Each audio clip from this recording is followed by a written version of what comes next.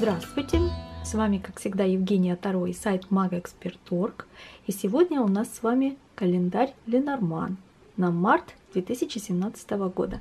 Давайте вместе посмотрим, каким этот месяц может быть для нас. Разберем каждый день основные его тенденции и сможем тогда спланировать наши дела более качественно и продуктивно. Ну что ж, давайте приступим. Итак, март месяц у нас начинается со среды. Среда управляется планетой Меркурий. Это планета интеллекта и предприимчивости. Ну, можно сказать, хитрости. А заканчивается у нас март в пятницу. А пятница управляется Венерой, планетой красоты и женственности. Если вы в этом месяце соедините меркурианские качества и венерианские, вы достигнете большего успеха. Более того, смотрите, у нас март начинается на растущей фазе Луны. И растущая фаза продлится вплоть до 14-15 числа, то есть до середины месяца. А на растущей Луне нужно открывать что-то новое, начинать новые проекты, что-то покупать, приобретать, то, чем вы хотите пользоваться долго. А на убывающей фазе, которая продлится с 15 числа вплоть до 28, вот на убывающей фазе лучше начинать диету или, допустим, какую-то генеральную уборку в доме, избавляться от какого-то хлама, ненужных вещей, даже ненужных отношений, в конце концов. То есть на растущей Луне мы что-то приобретаем, чем хотим дорожить долго и пользоваться успешно. А на убывающей фазе мы делаем то, от чего мы хотим избавиться или что мы хотим завершить, закончить. Вот возьмите для себя такое правило и используйте его в своей жизни, и тогда вы не прогадаете. Ну а теперь давайте посмотрим, каким же будет по Ленорман каждый день, начиная с 1 числа и заканчивая 31. Первый день, 1 марта, у нас здесь выпала карта совы. Совы – это хороший день для общения и переговоров. В этот день желательно налаживать партнерские взаимоотношения, вести какие-то, может быть, дискуссии, о чем-то договариваться или о чем-то спорить. Но спорить в виде диспута, а не конфликта.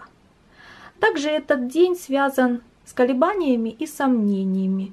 Если вы если вам нужно сделать выбор, принять какое-то важное решение, может быть лучше его отложить на другой день и не принимать его именно в день сов. Дальше у нас второе число, 2 марта, и здесь мы видим карту звезды. Звезды – это хороший день для осуществления своих желаний, каких-то давних намерений. В общем, то, о чем вы мечтали, звезды, в общем, будут вам давать возможности и шансы это исполнить. И в этот день я обычно рекомендую садиться с листом бумаги, брать ручку или карандаш в руки и записывать на этой бумаге свои планы на будущее. И увидите, большая часть из них реализуется. Ну, также можете просто загадывать какие-то желания и проводить какие-то ритуалы с этим связанные. Это тоже может сработать. В работе могут открыться новые возможности для вас в этот день, а также в любви, тоже появятся какие-то новые шансы и перспективы. Что касается третьего числа, 3 марта, то здесь у нас выпала карта сад. Сад – это общество, это социум. В этот день не сидите дома, выходите в люди, вращайтесь в каких-то важных для вас кругах, знакомьтесь, устанавливайте контакты, налаживайте связи, заявляйте о себе. А также в этот день можно просто отдыхать, развлекаться и делать это более активно, нежели пассивно.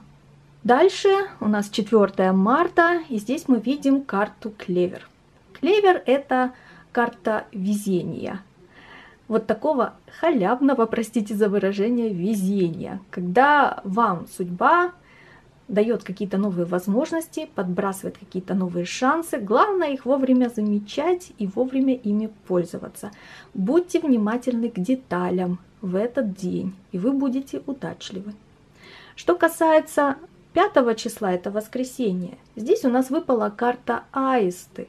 Этот день посвятите своим родным и близким, своей семье, потому что аисты это самая, это семей, это одна из самых семейных карт колоде Ленорман. Более того, если вы запланировали на этот день какую-то поездку, путешествие, особенно если это какой-то полет на самолете, то э, можете совершить такую поездку, она будет удачной. Также для некоторых аисты это символ детей. Соответственно, посвятите это время своим детям. А если вы планируете зачатие ребенка, то тоже хороший день для того, чтобы, собственно говоря, этим заняться. Ну, давайте двигаться дальше. Дальше у нас неделя начинается с понедельника. И понедельник, судя по всему, будет день тяжелый. Это шестое число, и тут у нас выпала карта крест. Карта крест обычно говорит о каких-то испытаниях, о каких-то трудностях, о каких-то жизненных экзаменах, которые вам нужно будет проходить, преодолевать и доказывать, на что вы способны.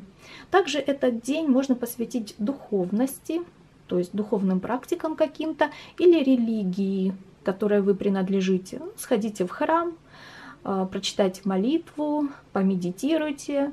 Все зависит от того, какому Богу вы молитесь, собственно говоря. Вот, но этот день можно действительно посвятить духовным вопросам. Вторник. Вторник – это у нас седьмое число, и здесь у нас выпала карта кольцо. Этот день принадлежит отношениям, причем как любовным отношениям, брачным отношениям, так и деловым отношениям. То есть на этот день планируйте либо какие-то альянсы, какие-то объединения, соединения с другими людьми, подписывайте договоры, заключайте сделки, они обещают быть удачными. Дальше выпала карта Солнце, а это у нас среда, это восьмое число. Солнце считается самым успешным днем в календаре Ленорман. И это действительно карта успеха, благополучия и процветания. В этот день светите ярко, как солнышко, привлекайте к себе внимание, заявляйте о своих талантах, проявляйте творчество, и будет вам счастье. Дальше, четверг, девятое число, книга. Ну, книга сама по себе говорит о каких-то тайнах, о каких-то секретах, которые вам не нужно выносить на суд общественности в этот день. Придержите свои тайны при себе и чужие тайны тоже никому не рассказывайте.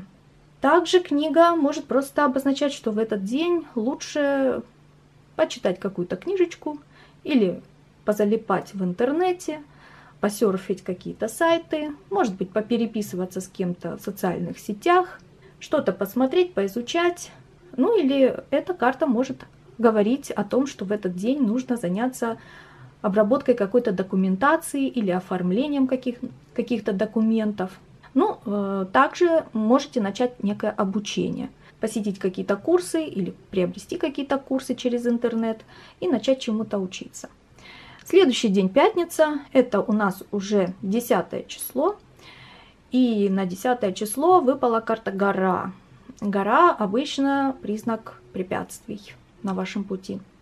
Это когда вы что-то хотите осуществить, что-то хотите сделать, а дело не идет. То одна причина, то другая, то третья возникает, и вам кажется задуманное просто какой-то непреодолимой горой Эвереста, который чтобы покорить, нужно очень много сил затратить.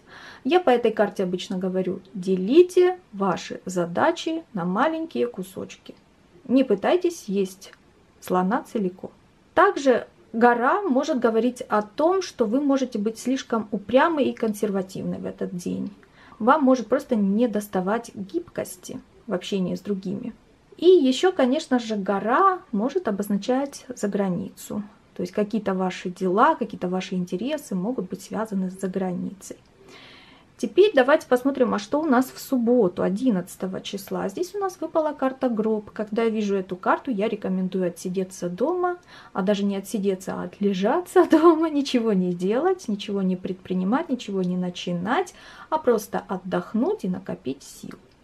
Также этот день может быть опасен в плане здоровья, так как гроб это одна из карт болезни, поэтому будьте особо внимательны к своему здоровью в этот день. Следующий день воскресенье, это у нас 12 число, и воскресенье у нас леса. Лиса – это символ хитрости и обмана, так что будьте аккуратны в этот день, не поддавайтесь обольщению каких-то посторонних людей или людей, которых вы хорошо знаете, но которые с вами не честны. Сами можете, конечно, прибегнуть к каким-то хитростям и уловкам для достижения своих каких-то корыстных целей. Но лиса – это не только хитрость и обман, это еще и хорошая карта для коммерческой деятельности, то есть купи-продай – и также хорошая карта для рекламы, маркетинга, презентации себя, создания нового имиджа и для карьеры. Хоть это и воскресенье, но многие люди и по воскресеньям работают, поэтому вот вам судьба дает возможности шансы, пользуйтесь моментом. Следующая неделя, 13 число, это понедельник, и здесь мы видим карту корабль. Корабль говорит о хорошем течении дел, вам сопутствует попутный ветер, и когда мы видим корабль, это успех в коммерческих, опять же, делах, в деловых вопросах, в карьерных вопросах. Если вы хотите заключить какую-то сделку, то тоже очень хорошо, когда выпадает эта карта. Ну и также это хорошая карта для поездок, путешествий. Ну, еще, разумеется, эта карта хороша для покупки, приобретения транспортных средств или, допустим, каких-то сделок, связанных так или иначе с транспортными средствами. Теперь давайте посмотрим вторник. А вторник это у нас как раз таки полная луна практически. И здесь мы видим карту ключ. Карта ключ – это карта принятия важных жизненных решений. Вот если я по карте совы говорила, не принимайте в этот день решений, отложите их на потом, так вот, тот день, когда эти решения нужно будет принять. И они будут правильными, они будут качественными. В этот день вы можете найти выход из сложной ситуации, если вы в нее попали ранее. В этот день вы можете принять решение, которое откроет перед, на, э, перед вами новые возможности. Ну, конечно же, карта ключ говорит о том, что вам нужно проявлять инициативу всячески. Дальше в среду, это 15 число, выпала карта метла. В этот день, скорее всего, придется много мотаться, много суетиться, много работать, много говорить, много общаться, наводить порядки. Причем это может быть как уборка в помещении, в котором вы живете или работаете, так и уборка в голове. То есть расставление ваших мыслей, планов, надежд по нужным полочкам и расставление всех точечек над «и» и над «ё», как я это люблю называть. Но карта метла часто говорит о конфликтности. И этот день с повышенной конфликтностью. Избегайте ссор и выяснений отношений. Применяйте их только конструктивно, если вам нужно принять какое-то важное для себя решение. Без обсуждения, бурного обсуждения обойтись невозможно. Дальше у нас выпала карта собака. Это у нас четверг, и это у нас уже 16 число. В этот день лучше всего этот день лучше всего посвятить своим друзьям или коллегам по работе, или непосредственно самой работе и служению, так как эта карта символ дружбы, постоянства и преданности, верности. Дальше мы видим карту башня, она выпала на пятницу, а это у нас 17 марта. Башня хорошая карта для работы, для карьеры, для решения вопросов в официальных учреждениях, государственных каких-то, может быть, учреждениях, потому что башня – это казенный дом, по большому счету. Но вот в плане личных отношений карта не очень хороша. Поэтому в этот день лучше не стройте новых отношений, то есть не начинайте новые отношения, или же просто побудьте наедине с самим собой, чтобы разобраться в себе, и не пытайтесь э, в этот день найти какую-то душевную близость с другими людьми. Тогда все будет окей. Дальше у нас суббота. На субботу 18 число выпала карта лилии. А лилии – это карта семейственности, гармонии, красоты, хорошего вкуса, высокого статусного положения. И поэтому в этот день лучше заняться какими-то благородными делами, такими как благотворительность, например, или меценатство. Также это хороший день для того, чтобы посвятить его семье, интимной жизни. И, конечно же, Это карта символ того, что может быть какой-то праздник, торжество, или же вы можете просто заняться собой, своей красотой или наведением красоты в том доме или помещении, где вы живете или работаете. Двигаемся дальше. Дальше у нас воскресенье, и на воскресенье, 19 число, выпала карта коса. А коса это символ опасности прежде всего, поэтому будьте, пожалуйста, внимательны в этот день, лишний раз не рискуйте. Конечно же, можете посетить в этот день стоматолога или косметолога или парикмахера. Это может заменить влияние карты косы на менее травматичное. А также коса может просто обозначать, что в этот день вам придется много работать. Много работать, трудиться. И может быть в этот день э, велика вероятность разрыва каких-то важных для вас отношений, которые вы можете воспринять слишком болезненно. Дальше у нас новая неделя начинается, и это у нас 20 марта. И на понедельник у нас выпала карта дерева. Дерево это символ здоровья, жизненных сил. И когда выпадает эта карта, обычно рекомендуют обратить внимание на свое здоровье, заняться вопросами своего оздоровления, укрепления иммунитета и начала здорового образа жизни. Если вы надумали какие-то очистительные практики на убывающей луне сделать, начать диету, начните это с понедельника. Будет действительно эффективно. Также дерево – это карта родовая. Это родовое древо, и она показывает, что этот день тоже можно посвятить своим близким, родственникам или заниматься вопросами рода, продления рода в том числе. Дальше у нас вторник, 21 число. Здесь у нас выпала карта Луна. Луна показывает прежде всего нестабильность, особенно психологическую нестабильность, эмоциональную нестабильность. Могут часто меняться настроения в этот день. Тоже нежелательно принимать какие-то важные решения под эмоциями, естественно. Лучше этот день посвятить самоанализу, саморефлексии и общению с близкими родственниками, особенно с мамой. Кстати, хороший день для того, чтобы получить признание в профессии, в профессиональном плане. След... А, и еще это тоже хороший день для беременности, для решения вопросов, связанных с рождением детей. Следующий день – среда. Среда у нас это 22 марта, и на этот день у нас выпала карта сердце. Ну, сердце это карта любви прежде всего. В этот день хорошо признаваться в любви, говорить красивые слова, совершать красивые поступки для своих любимых, возлюбленных, но в этот день желательно все-таки беречь сердце, сердечно-сосудистую систему. День может быть очень-очень насыщенный в эмоциональном плане. То есть много эмоций. И не всегда они позитивные могут быть. Дальше у нас четверг. На четверг у нас выпала карта змея. Это 23 марта. Змея это прежде всего для женщин соперница. Для мужчин какая-то другая женщина которая может проявлять к ним сексуальный интерес. И они тоже могут воспылать страстью. Но змея, надо помнить о том, что это еще один символ опасности и врагов, какого-то удара и предательства. Поэтому в этот день нужно быть осторожным, аккуратным. Также змея – это символ целительства, целительских практик всевозможных. И если вы заинтересованы в поиске врачебной помощи, пожалуйста, обращайтесь к врачу в этот день. Особенно если это будет женщина, такое лечение будет для вас более эффективно. Также змея – это мудрость и интуиция. Пользуйтесь своей мудростью, прислушивайтесь к своей интуиции и в этот день можно совершать какие-то ритуалы магические, оккультные. Это тоже будет весьма весьма эффективно работать. Дальше у нас пятница. На пятницу выпала карта якоря. Якорь – это символ работы. В этот день лучше потрудиться, поработать изрядно, заложить какой-то фундамент для будущего. И якорь – это консерватизм, отсутствие гибкости в принятии решений.